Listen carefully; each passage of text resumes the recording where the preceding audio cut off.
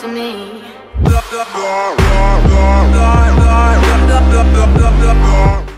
Yo, what is going on guys, at the Gamer here, so welcome to the brand new video. In today's video, I'm opening two flashback packs, so I'm pretty sure the Series 2 players are back into the packs. That's what I've been hearing.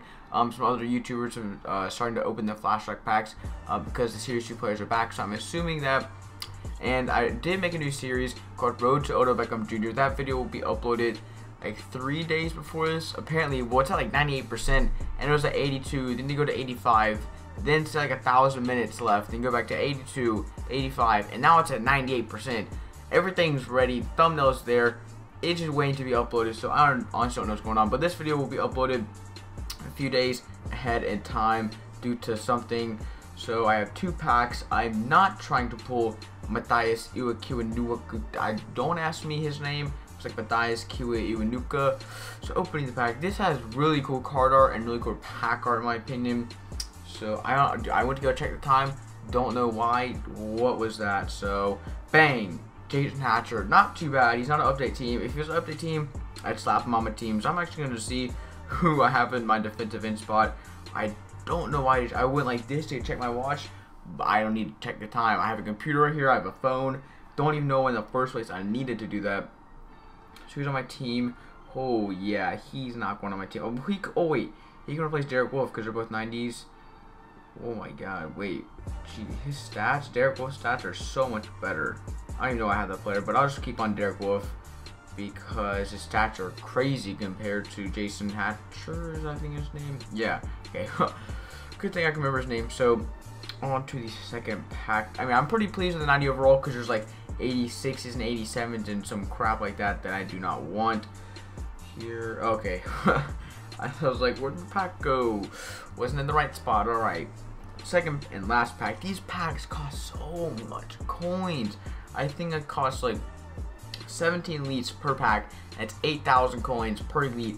Five or I think I spent 5k on each gold trophy. So what? Five, seven is 35k. It's on. Um, uh, I don't think it's 200k. I think it's like a just under 200k. That's 200k for a player that goes like 60k. But Series 2 player would be crazy. Bang. and that's the one player I did not want to pull. I did not care if I pull Matthias Iwakiwanuka. He goes for more than Tegan Jr. Oh my gosh. So they're going to be sitting on my bench. Actually, I'm to go sell them, see how much they go for. Does he go for at least 30k? Oh my god, they're so... Oh my god, he doesn't go for 30k. 30 freaking k. Okay, so he's to go for 20 because uh, I don't know how much he goes for. I'm assuming it's really, really, really, really crappy because he's the most common. I know he goes for a bit more than 20k, but I don't care to look through. There's hundreds and hundreds of cards that are his 86 overall, but not even the, uh, what's it called? Flashback pack, not the flashback edition. And Jason, I oh I thought I had two of them. That's just Chris Johnson. Whoops. So uh, took up Jason. I swear, if there's a 90 overall, oh, he actually goes for a bit of coins. Okay, a bid for 50k. That's pretty good. And 50k is not good, but I mean, considering there's like an hour left, it's pretty good. So let's go 85,000. Okay, 70. It was it was looking a lot better. Um, 55,000. Oh my god. So I'm gonna list them up for like 50k. I lost so many coins on this episode.